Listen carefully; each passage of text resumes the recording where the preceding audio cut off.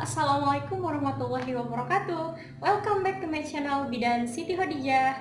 Di vlog hari ini saya akan mencoba membahas lanjutan dari vlog sebelumnya Yaitu mengenai COVID-19 Di sini saya akan mencoba membahas mengenai e, cara menanggulanginya atau cara pencegahannya Dan apa saja yang harus kita lakukan ketika kita menghadapi wabah COVID-19 ini dan apa saja yang tidak boleh kita lakukan ketika kita uh, berhadapan dengan wabah COVID-19 ini.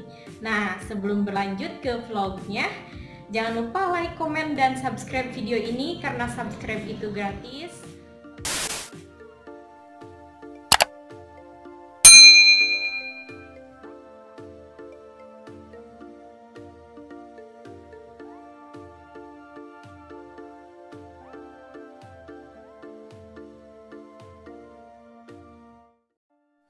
Nah, bagaimana sih cara kita agar kita terhindar dari si COVID-19 dan memutus rantai si COVID-19 agar tidak menyebar secara cepat, bukan hanya hitungan menit, bahkan hitungan detik. Nah, yang pertama yang harus kita lakukan adalah mencuci tangan.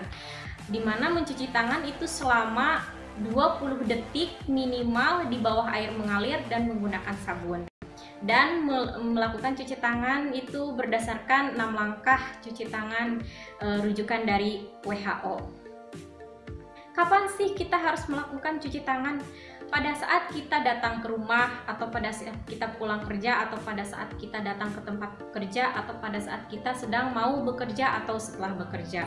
Kemudian pada saat kita menyiapkan makanan, kemudian pada saat kita mau makan dan setelah makan, kemudian pada saat kita setelah dari toilet. Kemudian pencegahan yang kedua adalah menerapkan etika batuk. Nah, batuk yang benar itu seperti bagaimana sih ketika kita batuk? Nah, pada saat ketika kita batuk, maka yang harus kita lakukan adalah memakai masker karena masker itu bisa melindungi percikan-percikan yang memang dapat menyebarkan ke orang yang ada di dekat kita batuk seperti ini. Tapi batuk yang benar itu adalah kita harus seperti ini. Sehingga hidung dan mulut kita itu tertutup. Kemudian yang selanjutnya yaitu apabila kita batuk, bisa juga menggunakan sarung tangan atau tisu. Dengan seperti ini kita menutup hidung dan mulut. Nah, otomatis percikan itu tidak akan keluar dan e, menyebar ke lingkungan yang ada di sekitar Anda. Kemudian selanjutnya setelah kita melakukan hal demikian jangan lupa selalu cuci tangan dan uh, selalu yaitu melakukan social distancing dan physical distancing.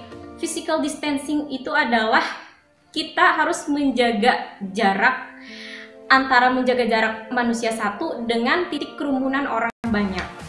Mengapa sih kita harus melakukan physical distancing? Hak kita dong kita mau pergi ke mana aja. Nah mungkin kita egoisnya berpikir seperti itu. Jadi tujuannya physical distancing ini karena si COVID disease 2019 itu dapat menyebar secara cepat. Sehingga apabila seseorang e, datang ke kerumunan orang yang memang banyak e, dijumpai oleh orang banyak nah di situ itu meskipun orang yang tidak memiliki gejala tidak memiliki gejala pun dapat menularkan kepada orang lain. Nah bagaimana itu kalau misalkan kita tidak tahu orang itu sudah terkonfirm terpapar COVID-19 namun tidak memiliki gejala? Nah itulah bahayanya. Kemudian selain itu juga uh, dengan adanya physical distancing kita membantu te, uh, tenaga medis dan pemerintah untuk bekerja melawan si COVID-19, memutus rantai si COVID-19. Karena kita harus menghormati tenaga medis baik pemerintah ketika mereka sedang bekerja kita jangan tidak boleh menjadi orang yang memang memiliki rasa yang egois.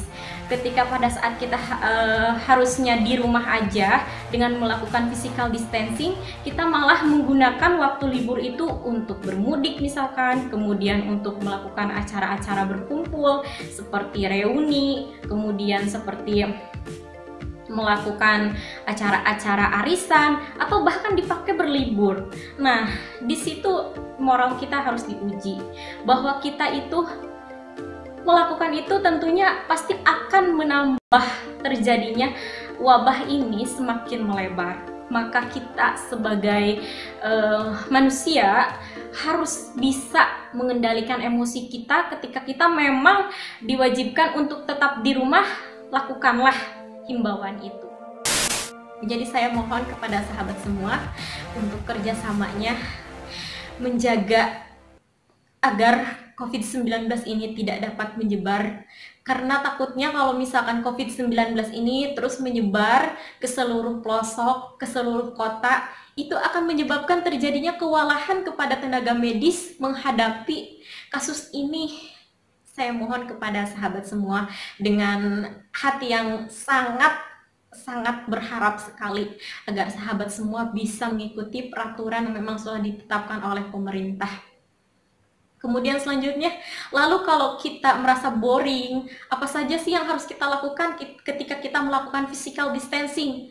Banyak sekali ya sahabat, apa yang harus kita lakukan, hal-hal yang positif dan memang produktif untuk kita. Misalkan kita yang pertama bisa membaca buku, kemudian kita bisa memurozah Al-Quran, membaca Al-Quran, menambah hafalan Al-Quran, kemudian kita bersih-bersih lingkungan rumah, kemudian kita bisa jalan-jalan di sekeliling rumah, dan yang yang paling sangat luar biasa itu adalah kita bisa berkumpul dengan keluarga tercinta kita.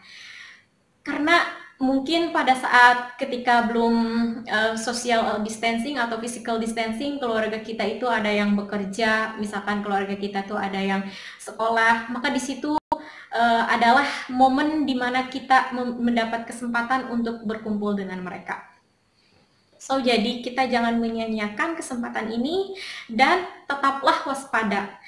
E, tetap waspada, tetap jaga diri Anda. Bila pun memang Anda harus keluar dengan keadaan yang sangat terdesak dan tidak bisa ditinggalkan, maka Anda harus tetap mematuhi aturan dan himbauan yang telah pemerintah tetapkan.